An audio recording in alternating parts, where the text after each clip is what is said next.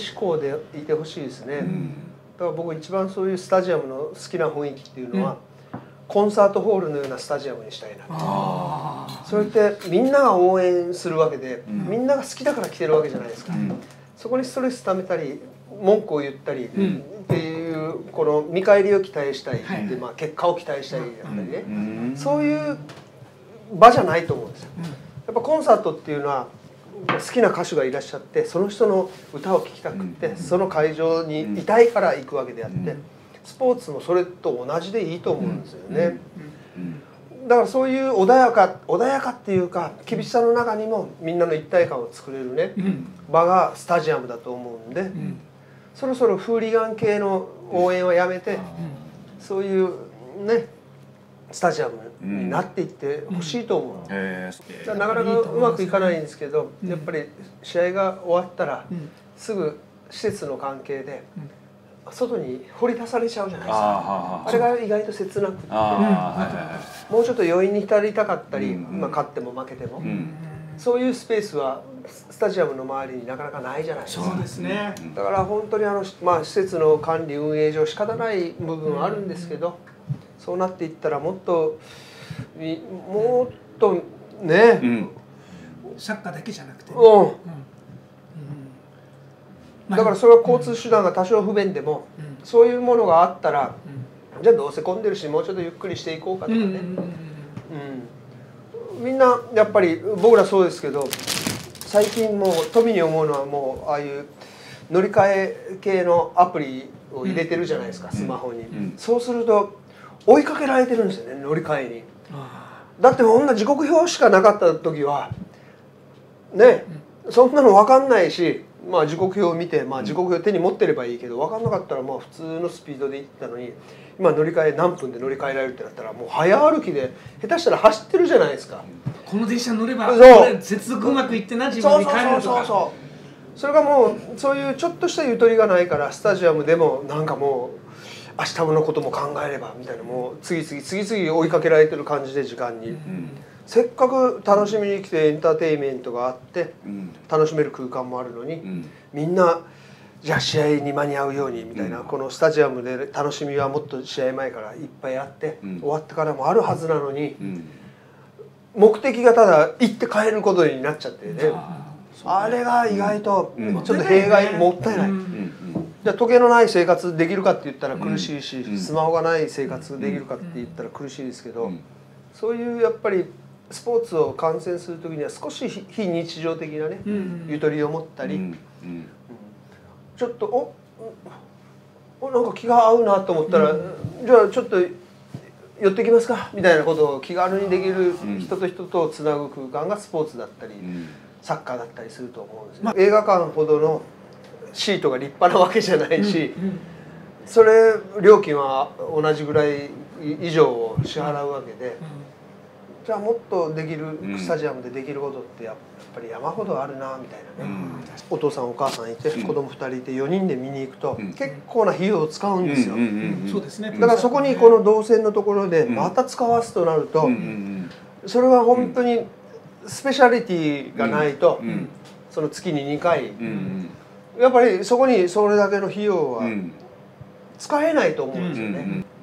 より本当にスペシャリティっていうか、まあ、日常で当たり前なんだけれども、より贅沢なものになるように、心の満足が得られるようにね、みんなで何か作っていかないと、その次に2回のイベントみたいな感じで持っていかないと。とやっぱりあのヨーロッパの小さいクラブとかはそういう感じじゃないですか、それがもう俺らの唯一の楽しみだぜみたいなね、うん、そういうふうなぐらい土着していくとねいいなみたいな。だからイベント的にホームゲームとアウェーゲームあったら月に2回必ず、まあ、1,000人単位で集まるイベントが勝手に打てるわけですよ。そうそうそうそれってすごい財産なのになのに観客が1,000人だと少ないとかいやそれはナンセンスな話で。いや1,000人も当たり前のように月2回集まるイベントって打てないんですよ。いやいや 本当。そういうサッカーっていう競技でそれぐらいのものを定期的に打てるってことは、もっとみんなが有効活用したらそうそうそうね。そうもったいないよね。そう。2週間にハッピーが増えるわけ。集まるわけだからさ。う。ん。だからハッピーが増えるわけで、う。んまあ、そこに少しやっぱり利害もいっぱい絡むでしょうけど、うん。でも結局みんなが、ね、共存共栄して、うん。まあ世間でいうウィンウィンですか、うん。そうね。そういう関係が築ければ、ん。とにかく何でもいいような気がするんですよね。日本ありがたい。ここでやる初のおかんをあやろうかなと思って、おかんつけるの？はい、すごい。半酒だ。おかんで最高にいいのがちょっと今日ご案内しようかな。へえ。日本酒で黒牛。あ黒牛だ。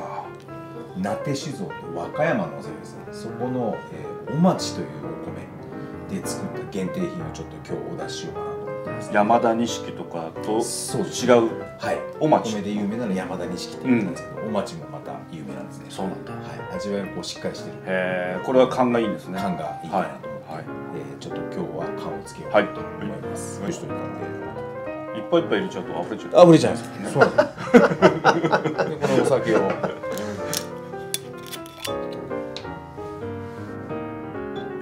それは何合ぐらい入るんですか？これ2合ぐらい入りますね。あー2合弱ぐらいですかね。あ40ちょっといくとちょっと熱いかな。あそうですね。ここでこういう入れるんです。よ。そうするとちょっと待つとあおあれなんですよ。その間にちょっとこう冷やでちょっと待ってもらおうかなと。冷やでもいい。はい。わ関町セラーって書いてもちょっといいですねこれ。オリジナル？気使っていただいて。いえ。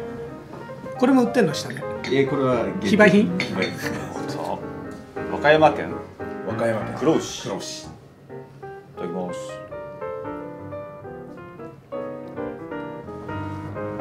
純米酒。純米酒。スッと入っていやーうまい。さっきは内田選手でしたけどこれは鹿島の選手だと誰ですかねこ面白いこれですか？れこれです。この辛口そうですね。具合がまたそうですねセルジオ越後さん的な感じですか？違うな。切り返しの深さ。このねカンカンと切り返しながら冷静にパッと視野が広が広がっておまあ味の広がりがあるみたいな。土井優馬みたいな。あ土井優馬じゃない。土井翔馬土井土井選手ね。カンカンってこうかわしながら顔を振ってあげてうん。冷静にゴールを沈めるみたいなねそういう広がりが感じられますね。ああうまいなうまいな。うまいな。さあつけるとどうなるか。ちょっと色が黄色っぽいですよね。はい。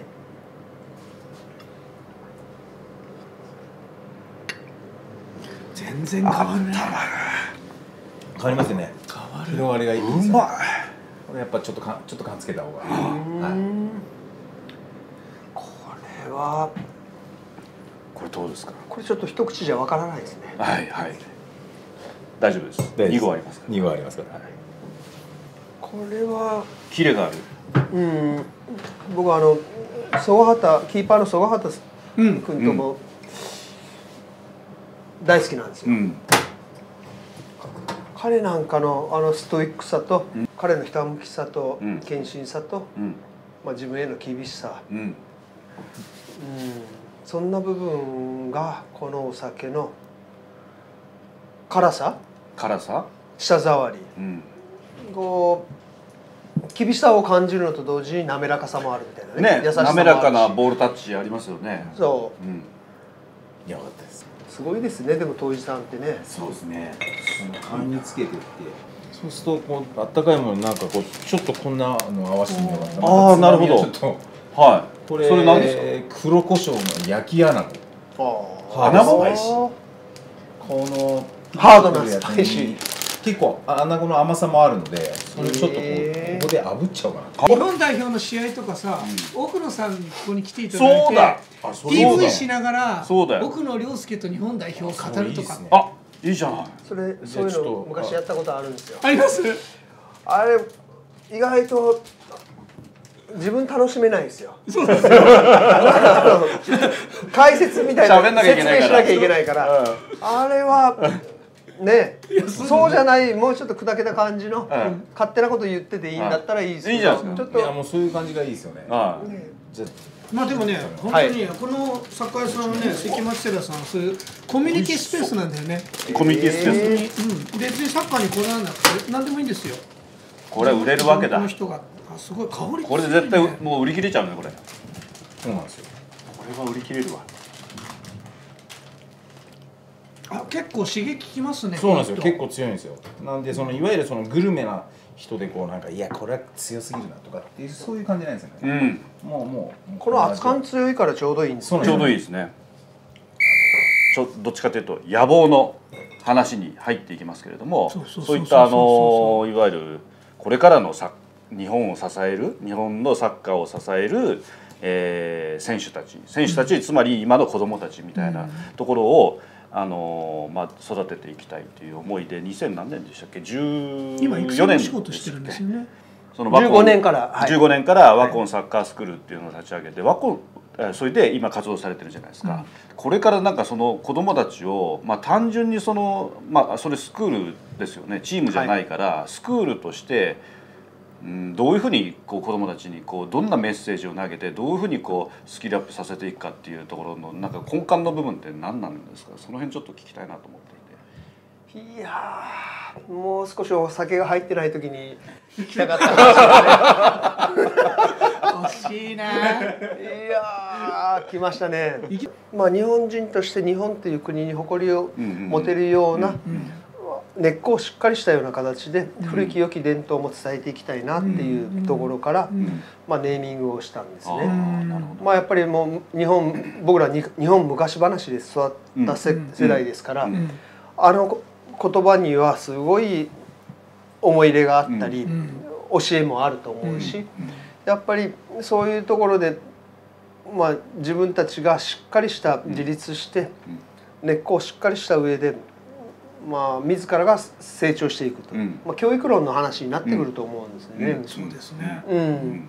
それでもうとにかく願いはこの日本で、まあ、まず子どもたちが明るい未来をイメージできて想像できて夢できる、うん。夢を持って勇気を持って進めるような、うん。そういう子どもたちに育てたい、うん。まあ、そのためには大人たちもそういう存在でいなきゃいけないなっていう部分もあったりして、うん。まあ、活動をつ始めたわけですよね。うん僕らが生きているっていう生命活動は必ず右肩上がりで経験値が必ず上がっていくわけだから、成長しないわけがないっていう発想を持ってるんですね。うんそんな中でやっぱり無理とかいう言葉もあんまり好きじゃなくて、うん。できないも嫌いでそれは何かっていうとお箸はやっぱり日本人で右手でおお、ね、字を書くのもお教えられてたけれども、左手はそういう回数が少なかったりやったことないだけの話で、うんそういうことを今の、まあ、僕らは子供たちなんかは特にできないしそんなの無理みたいな。無理だしみたいなそう。お前それ右手と同じ回数だけ左手やったかっていう話なだけなんですよ。うん。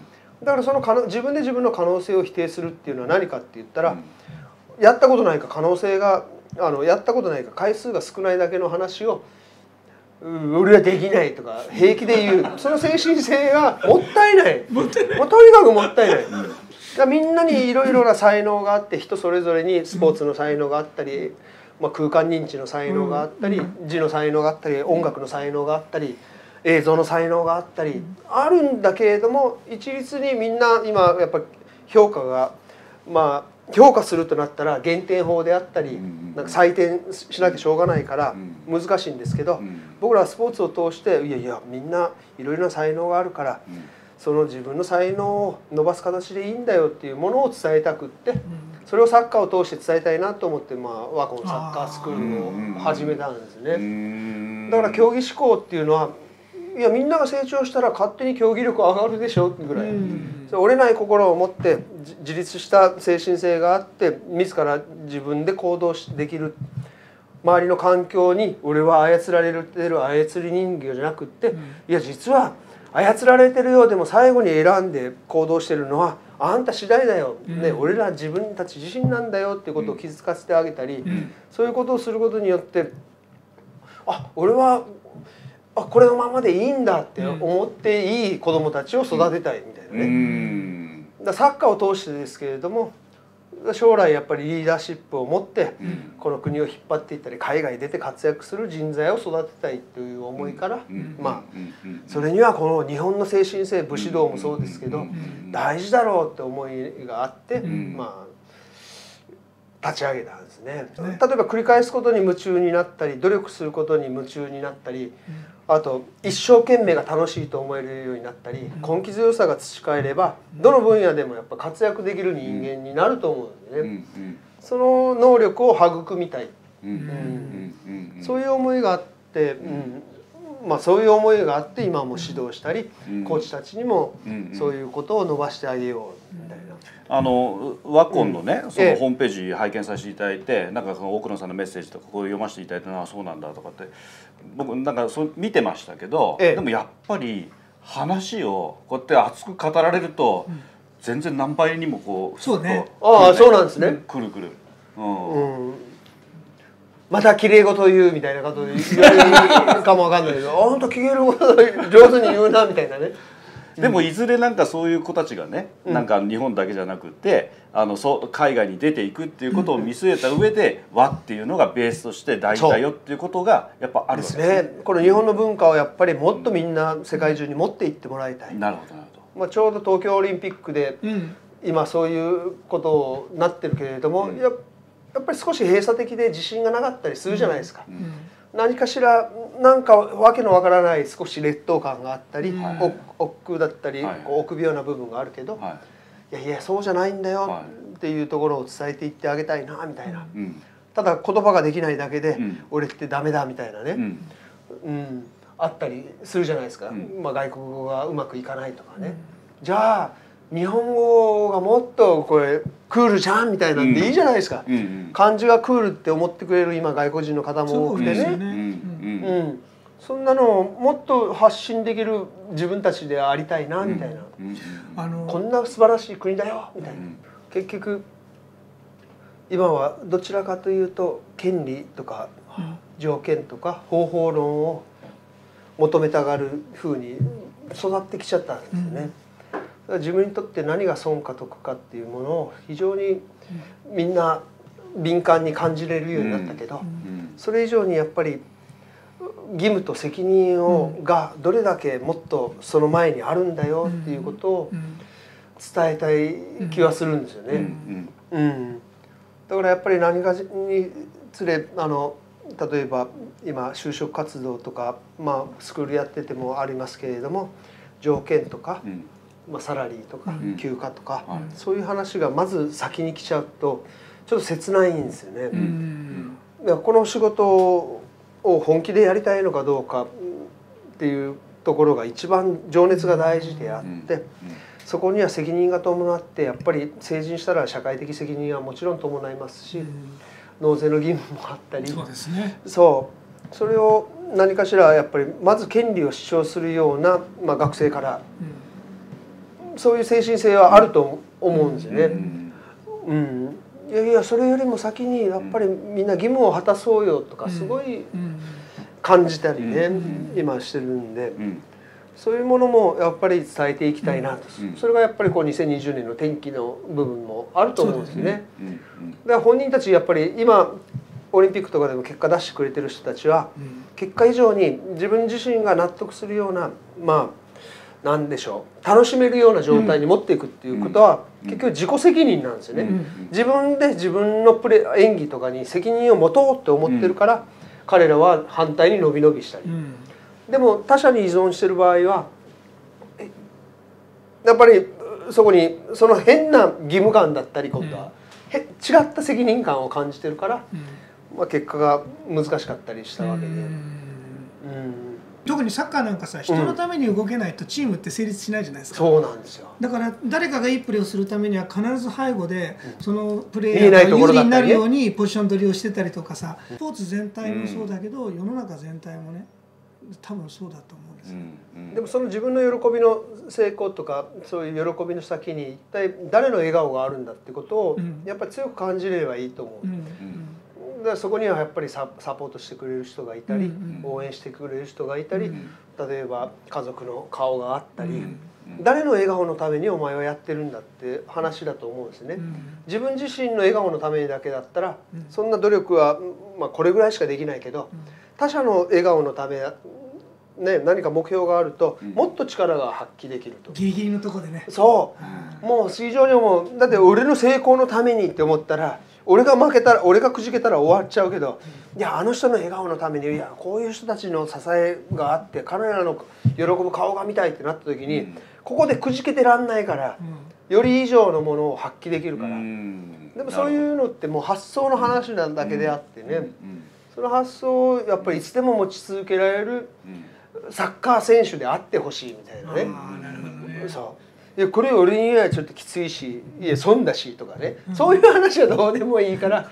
いやいやそれ以上にはお前は誰の笑顔を見たくて。うん。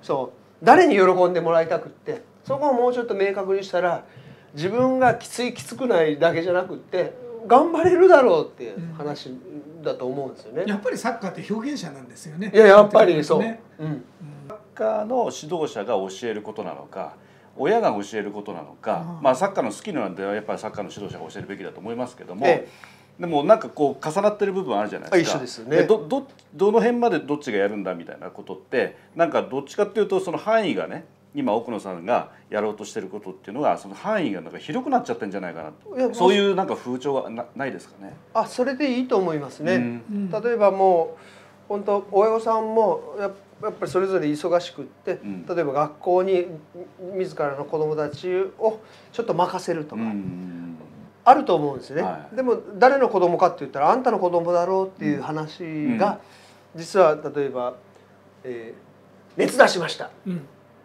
じゃあ医者に行ってこいみたいな風になるけど、いやいや待ってよちょっと大丈夫かお前。おい大丈夫かちょっとじゃあ氷ので冷やしてやろうとかね、うんまず自分の息子なのに人に任せちゃうみたいな。そういう風潮はちょっとあると思うんですよね。いやいや学校の先生任せますみたいな。うん。いやいや誰の息子かって子供かって言ったら、うん。俺の子供だろうって。うん。でも僕にもあるんですよ。うん。じゃあ熱が出たらちょっともうすぐ病院行ってこいとかね、いやその前に自分でこう確認してなんか確認してうんやってあげればいいのに、うん。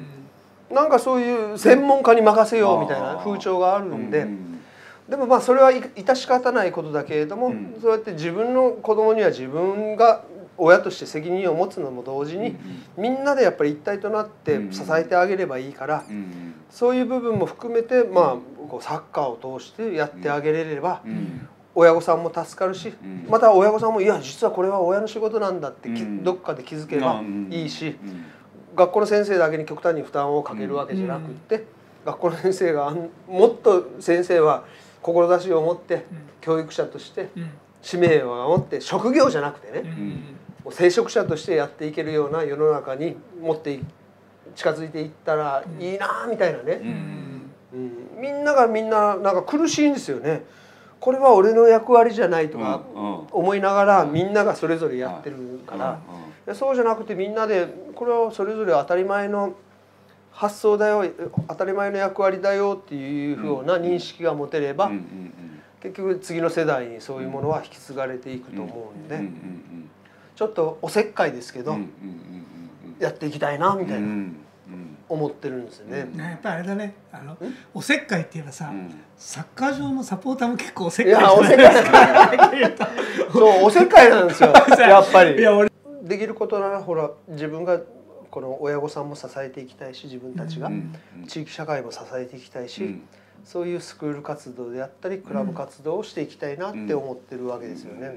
さあ楽しいか楽しくないか誰が決めるんだっけ？自分そう、えっとね。あなたの心です。はいじゃあ気をつけ。はいじゃあまずはグラウンドによろしくお願いします。よろしくお願いします。じゃあ今日一緒にあるお友達とコーチにもよろしくお願いします。よろしくお願いします。はいお願いします。よろしくお願いします。いいねわっけー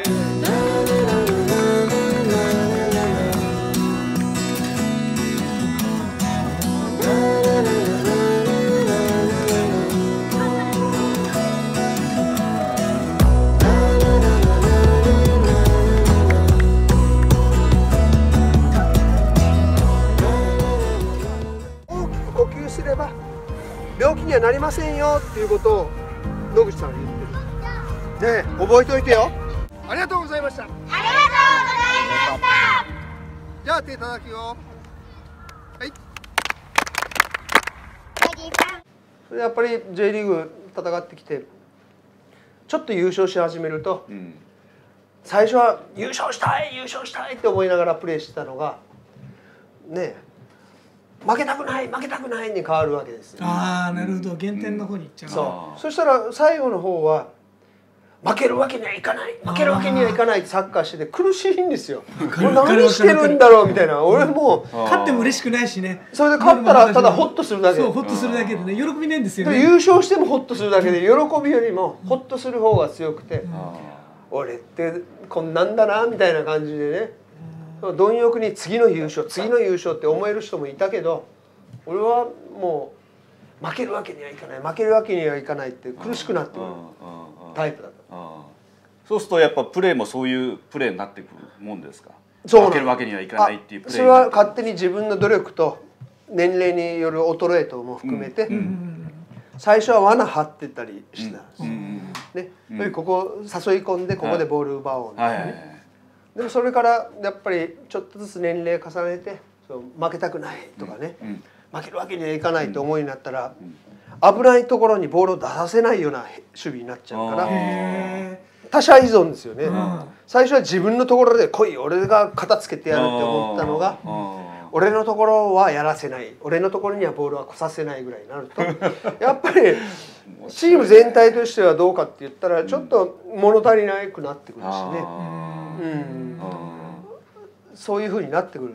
それでまたある年齢を重ねてきた時には今度は維持しようって思っちゃった僕は、ん。あこれ維持しようって思った瞬間に俺はもう衰えていくんだって思いながらも、うん。やっぱりそういう感じで、うん。そしたら体に不調をきたしてなんかグロインペインみたいなねあの鼠径ヘルニアみたいな、になったりした、はい。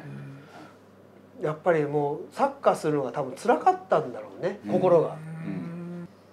うんそれでまあフロンターレと広島が終わって、プレイングマネージャーでザスパ草津に行ったわけですけど、うんうん3ヶ月ぐらいそういう議会対応とか商工会温泉組合とかね、旅観光協会とかのところをはい。ガーッと動いてて、はい。体を動かさなかったら3ヶ月ほどでピタッて痛みが全部なくなったの。なるほど。おあやっぱこれってはやっぱり心のストレスだったんだみたいーなね。何よりも体以上に心を鍛える方が大事だなみたいなね。ーなるほど。やっぱり身をもって体験した。うん。でも怪我なんかも最初のその長岡さんもおっしゃってたけど開幕戦で怪我した時はすっごい落ち込んだ。うん。もう俺二度とサッカーできないかも、うんピッチに立てないかもとか思いながらね、うん。ところが2回3回4回と繰り返していくと最後のもうほんと4回目ぐらいは怪我した瞬間に「ああやっちゃった」ってもう切り替わって「じゃあ次行こう次」みたいな。あだから経験は大事で、はい。経験することってすごい大事だなって、どんどん短くなってくるんですよ。す最初は3ヶ月ぐらい落ち込んでたのが数週間になって、まあ、数時間になって、もう一瞬で怪我した瞬間に「ああしょうがないか」で最後もう現役終わってからアキレス腱切って「あやっちゃった!」って思ったらもう次のこと考えてますから「いやスクールどうしよう」とかさ。あもなるほどね。いやこれこんな長いことた入院してらんないから、うん。いつオペできるかなと思って。でオペその日にできるって「ああ23日入院かな。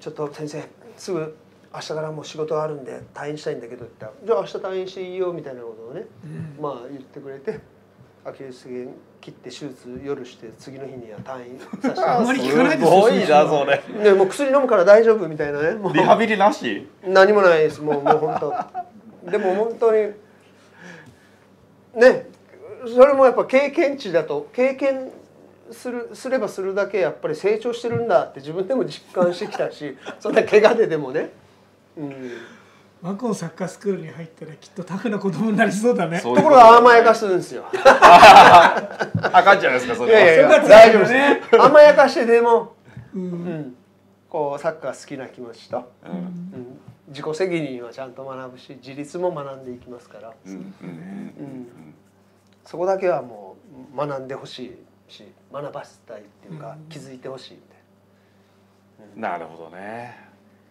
だからどうしてもこうやって今もずーっと僕一人で喋ら喋っちゃってるじゃないですか、全然 OK ですよ。話聞かないからって言われる部分があるんですよね。でも伝えたい側の指導をする人間としては言いたくなっちゃってね。うんうんうんまあ言わないとつ伝わんない。伝わんないし。はいはい。いいんですよ。でも聞くことも嫌いじゃないはい。のにね、はいはい。ここまた反省しどころなんですよ。いやでも本当に。やっぱ奥野さんのこういろんな語りの向こう側に僕はさっきから感じたすごいやっぱジーコイズムじゃないけど、うんあのジーコさんのこう日本サッカーに伝えようとしたことの、うんこういろんな形を変えたねうん遺伝子がやっぱりこう伝わってる感じするんだよね。うんそうだねこれも当時こういう今日刊スポーツさんってここに小さく入ってるんですけどね。そう新聞社に連絡するんですよ。あそうです。そうそれであの購入するんですあ写真はね。うん。うん。だから本当に多分どっかに僕の少年団時代のユニフォームも眠ってるとは思うんですけど、うん。ああうん。多分1枚ずつぐらいは全部種類家に置いてあるんですけどね、もっと密に関わりたいなってありますね。ああそうですか。あちょうどこの群馬で苦労した時時期のあの選手たちなんかは今でも結構指導者になってくれててあそうですか。すごい慕ってくれるんですね。だから自分がどれぐらい密に関われてるかがえ、うん。うん。それによるわけですね。人間関係希薄だとダメなんでしょうね,、そうですよね。やっぱり。それそうですね。うん。うん。うちの子供サッカー好きでやってるけど親の言うことよりコーチの言うことの方が信用してるようんね。うんうん。コーチの言うことはもう絶対正しいって言うけど僕が言っても「いやパパはサッカー詳しくねえから」とかって言われちゃうんだよね。うちの息子たちでさえそうですよ。あそうですか。まあ一応こう監督経験もあるのに聞かないんだ。みたいないや真面目に言ってるのに聞かないんだみたいなね。親とはやっぱりコーチは違うし監督は違うし。井原さんと一緒にね J リーグのチームをねそう。ひ率いてたのにね。だからさサッカーの指導者にさサッカーのことだけじゃなくっていろんななんか人生論とかいろんなねメンタルの部分をさ教えられたらさ、うん。ちょっと親の立場として危うくなってくるよね。そうだよね。お一応それ僕のし仕事なんですけどね。みたいなそうそうそう。でもどうせ聞いてくれないからいいかみたいなさでもあの元日本代表の岡田さんもね、うん。あの結局サッカー日本サッカーを突き詰めていくと最後は教育の話になるってずっと言ってましたからね,、なるよね。今日すごいなんかあの奥野さんのこうこういう方だって知らなかったんですけど、うんうん。ありがとう。いやーとんでもない、まあ本当に。ありがとうございます。失望させたら申し訳ないですけど。いやとんでもないですよ。少しあの鹿島アントラーズに対しての愛情が湧いてきましたよ少しだ。少しなの？まあ少しサッカー愛が伝わってればいいやいなってサッカーはもう完全に握手できて いやますよ。ありがとう。いや今日どうもありがとうございました。ありがとうございます。長い時間にわたりました。ありがとうございました。ということでえー、と東京サッカー通信ですけれども、えー、と今日はですね、えー奥野亮介さんをお迎えして J リーグ J リーガーとしての、まあ、奥野亮介さんとあとはサッカー人としての野望みたいなね。サッカー人っていい言葉でしたね。よかったね。ね。